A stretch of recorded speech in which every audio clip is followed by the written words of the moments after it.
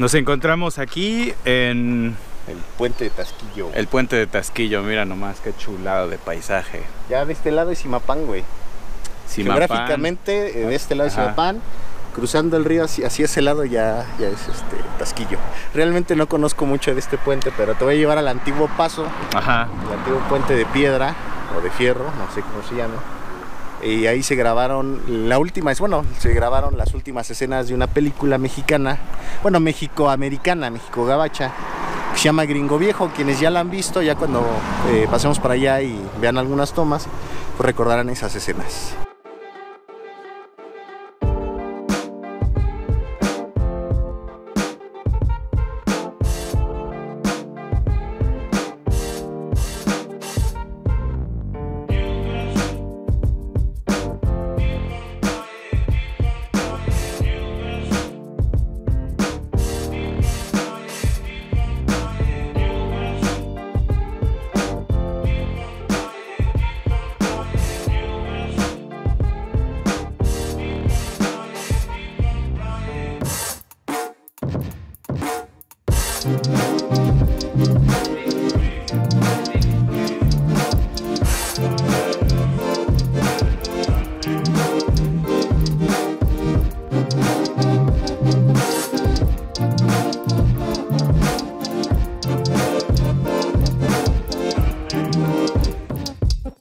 Estamos aquí abajo del puentecito haciendo exploración.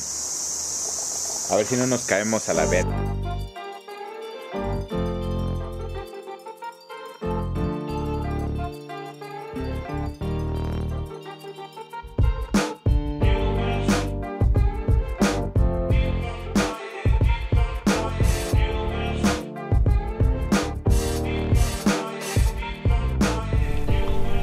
Ya nos cambiamos de zona. Ahora estamos aquí enfrente de un de, de un cuartel antiguo, Revolucionaria. época revolucionaria, justo atrás de nosotros. Ahorita vamos a ir a investigar.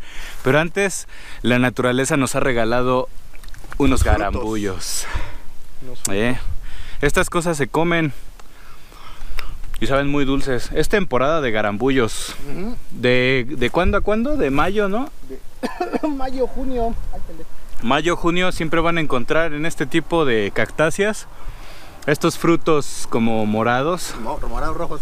morados rojos y te vas a comer los que están más, más oscuros. En oscurito, se hacen como, como uvas. Saben muy ricos, la verdad. Entonces ahorita vamos a explorar este cuartel a ver qué tal, mientras nos vamos a comer unos garambullos. Vamos a buscar una entrada a este cuartel revolucionario.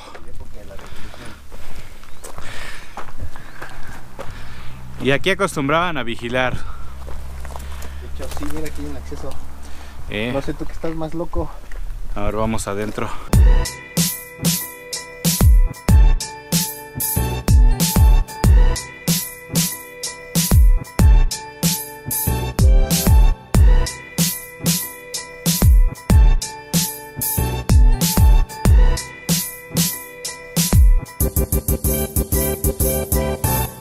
Gabo y yo estábamos platicando sobre estas pequeñas mirillas que hay aquí atrás Como ventanillas. ventanillas las cuales utilizaban los soldados para Sacar el rifle y apoyarse. así es y vamos a vamos a meternos al edificio a ver qué, qué hay en esta primera explora- exploración urbana aquí por ejemplo me parece interesante este este espacio es el como un... Ah, mira, aquí está el otro acceso, güey. Nosotros metiéndonos por allá atrás, güey.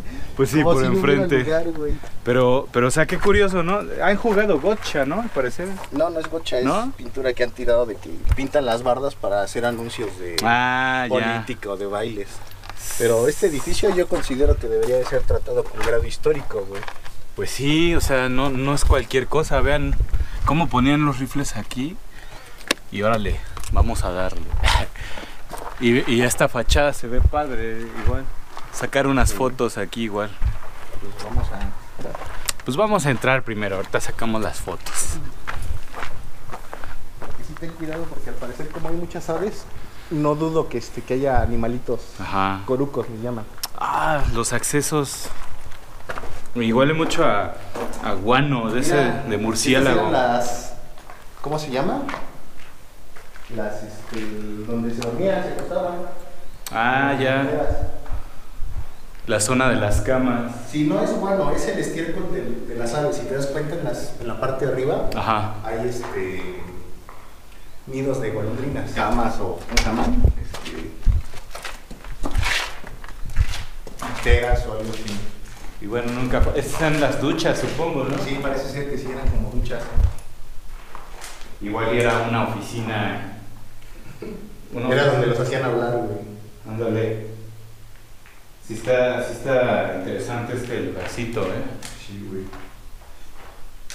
No te veas mucho a las esquinas porque es donde hay las dos años. Va, va, va. Aquí se ve que era como una esta, sí se ve que era la oficina, güey. La chingona Muy rudimentaria. Y ya no hay muebles, ya no hay nada. Al parecer, este.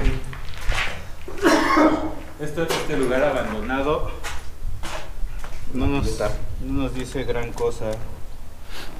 Chéquense este lugar, es el techo del cuartel.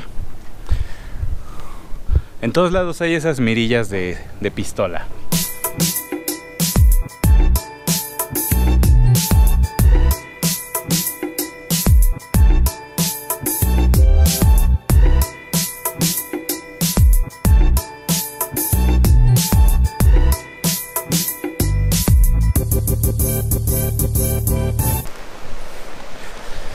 Pues ahora Gabo me ha traído aquí al, al puente de Tasquillo.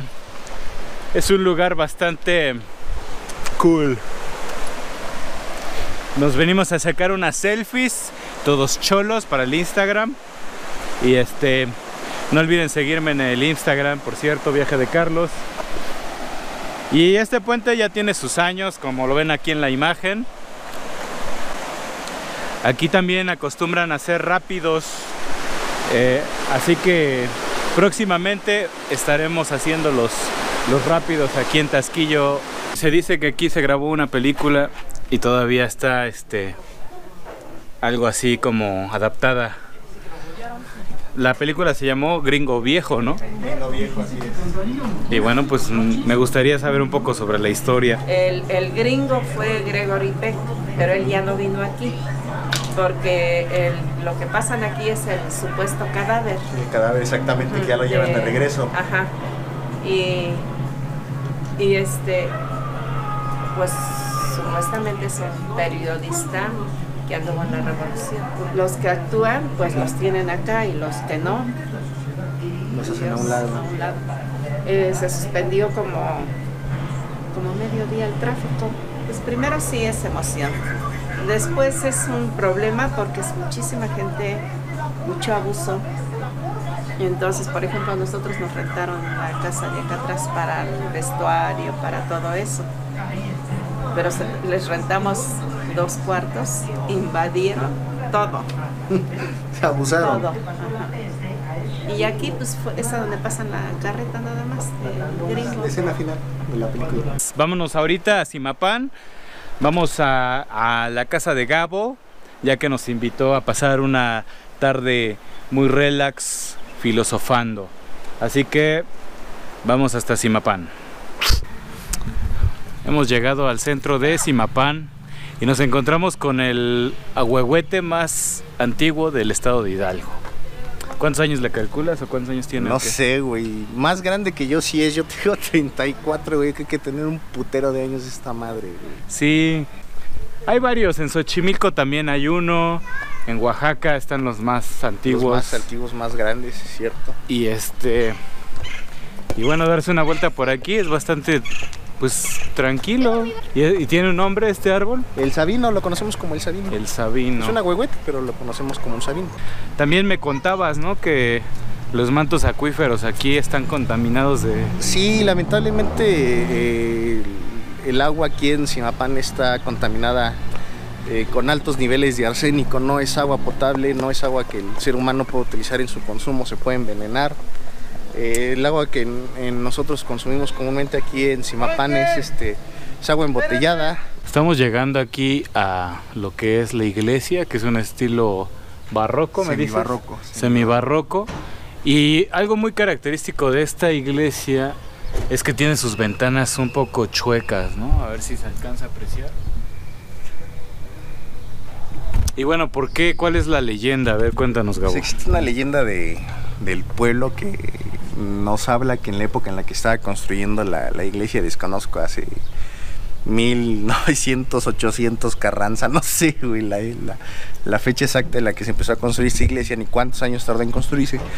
Pero cuando llegaron a construir la, la zona de las ventanas, porque son paralelas, del otro lado hay una que está con igual inclinada, la construían derechita y el otro día cuando llegaban los trabajadores estaba torcida la ventana otra vez.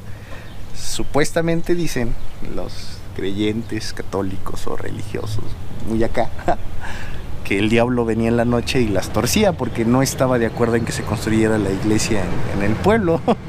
Pero bueno, son leyendas o mitos al final del día. Yo he llegado a la conclusión de que arquitectónicamente estuvo así diseñada.